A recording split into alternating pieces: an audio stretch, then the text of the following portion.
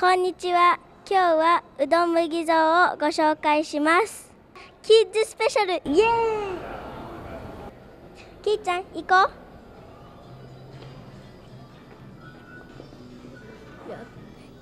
今回のハローレストランはキッズスペシャル第2弾。今回はせなちゃんとケイトくんがサンフランシスコ日本町紀ノ国屋書店向かいのうどんどころ麦蔵を紹介してくれます。自家製うどんで大評判なこのお店。2014年にオープン以来本格的な和食が手頃な値段で食べられるお店として地元で大人気です。きーちゃんお腹すいたね。うどんが来るのまだかな。うん。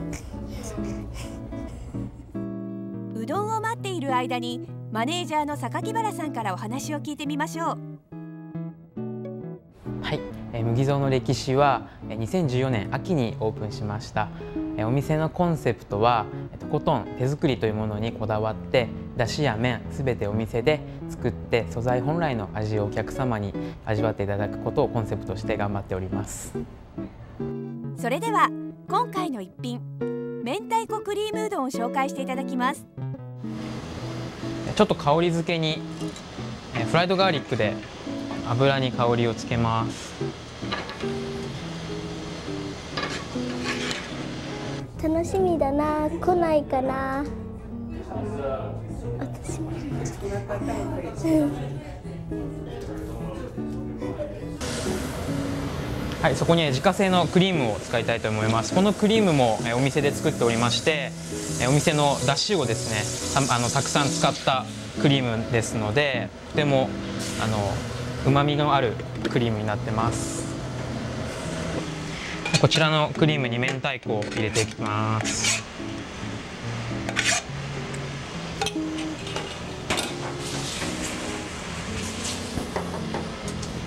で少しえー胡椒を多めに振るようにしてますえークリームの香りが引き立つのとうどんとの相性がとてもいいので少し胡椒多めですねはいここにじゃうどんを混ぜていきます。はいうどん自体は大きな寸胴で、えー一気に、えー入れていますのでとてももちもちしてつるつるしたあの独特の食感が生まれます。この時あのうどんを混ぜるんですけどあのステンレス製のトングなどを使うとうどんに傷がついてしまうのでできるだけあの木製の箸などを使って調理するように心がけています。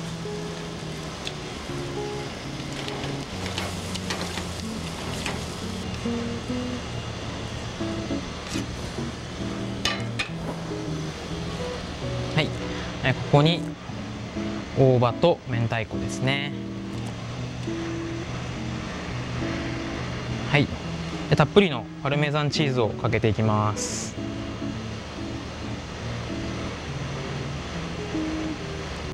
はいお待たせしました。明太クリームうどんです。わーい。美味しそう。きちゃん美味しそうだね。いただきます。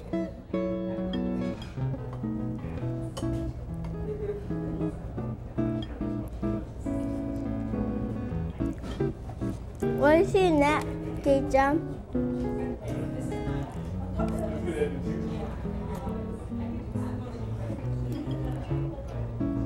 美味しい。もちもちとした食感のうどんにほんのりとガーリックの香り。明太子クリームとチーズが合わさって相性バッチリ。明太子パスタとはちょっと違う麦蔵オリジナルのこの一品。美味しくてボリュームたっぷり。さらに比較的お手頃価格。この一品は満足必須です。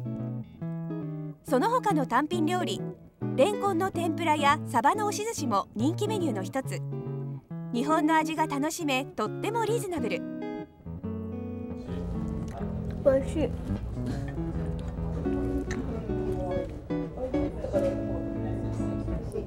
えー麦蔵では、えー毎日お店の中で作るうどんやだしを、えー大切に使ってメニュー作りをしております、えー初めて来るお客様また常連のお客様日本人やえローカルの皆様にも好まれる味付けをできるように心がけておりますのでジャパンセンターをお越しの際はぜひ麦蔵へお越しください。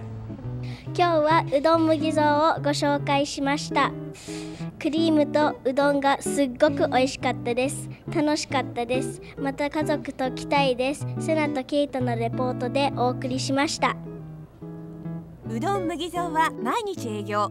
1581ウェブスターストリートサンフランシスコ。詳細は東京テレビのホームページからご参照ください。TTB ハローレストラン。今回はうどん麦蔵を紹介しました。